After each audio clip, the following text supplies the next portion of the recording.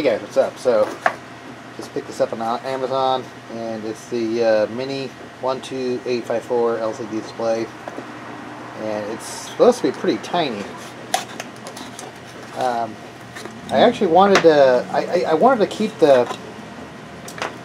the baby stepping feature, and I'll show you in a second why it matters to me, but, alright, so yeah, this thing is tiny. It's all I needed, just one little device I could actually mess with baby stepping. So when I'm changing like uh, between filaments, between like ABS or PETG or PLA, sometimes you have to change the offset. Uh, one of the nice things about this too is it, communicates directly with Marlin. You know, it doesn't actually, it's not an emulator. It's actually like a, a considered a real LCD screen. So your typical basic two inputs. But yeah, actually I, I, I put some other screens over here as reference so you can see the size of this thing. So this is your standard 2004 display. This is a 12864, yeah, ANET display. And then this is a uh, 3.5 inch uh, Raspberry Pi 4. And this is a TFT 32 by MKS, MKS TFT 32. So you can see how tiny this thing is. And yeah, one of the I I'll, let me show my print real fast. So, I mean, I do most of my stuff right now with my 7-inch Octoprint screener here. Uh, I'll do another video on that, but it's actually Octoboot. Or not, what's it called? It's called Octo Octo Screen, I think. Uh, pretty new. I mean, that's pretty cool. Uh, I'll, I'll, do another video about that, but uh, yeah, the, the one feature that I want and that thing cannot do, like I said, is, is the baby stepping, baby Z, baby stepping. Uh, but it, it interfaces directly with Marlin. Cool thing too is you can also set your E-steps from these things, E-steps, and uh, a couple other things. But like I said, it communicates directly with Marlin. You can actually you can communicate directly with the Marlin EEPROM. So I've already printed out a little case for this thing already. I want to see if it fits before I take the plastic off.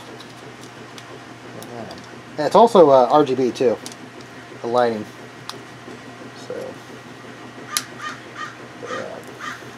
Tiny, tiny. Actually has a SD card. I'm never going to print from this because I, I do everything from Octoprint, but like I said, just that baby Z. Alright, so I gotta find a place to mount this and we'll get it fired up. Alright, looks like we're gonna have to probably recompile Marlin to get that LCD on there. Just kinda goes back. That's an SKR uh, 1.3 board, 32-bit board. Alright, so I just stuck the uh, SD card in the micro SD card in the uh, system with the new firmware. And there actually is an option in Marlin for this LCD. So right now it's going to probably be updating the firmware on the board. Okay, now I see Marlin on there. I can see it the back, so I might need to... There's no backlight.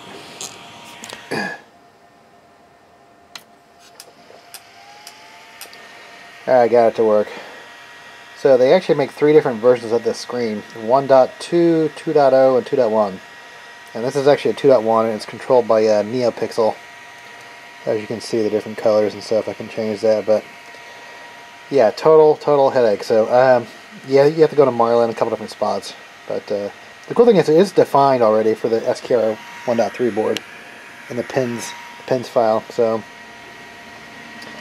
alright, well, we'll put it back together and we'll get it going.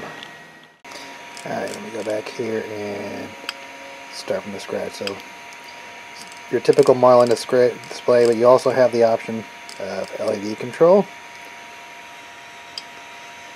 And you can change the lights, custom lights, change different settings, uh, light presets, like white, see, red,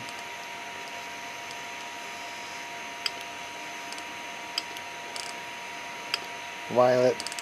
I kind I like blue or white. Okay. Um. All right. Nice screen. Nice nice clicks. Okay, that a screen. So one of the reasons why I still have this screen or want these screens is that under configuration, um, besides the uh, Baby Z, the, the Probe Z offset, you also have the ability to, uh, where is it at, uh, advanced settings there, uh, velocity, acceleration, jerk, E steps, you know, TMC drivers, you can control that. Those are the Trinamic 2209 drivers I have. Driver current. So this is actually why I still choose to have one of these old style displays. But you can you can make these changes in real time, so it's mainly a jerk and stuff. So I, I got to mess with my jerk and acceleration on my y-axis because I'm getting a little ghosting.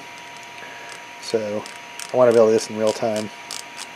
Alright, cool display. Okay, so to enable some Marlin for the, SKR 1.3 board, uh, enable the option for 2.1 if you have that board, and then enable NeoPixel.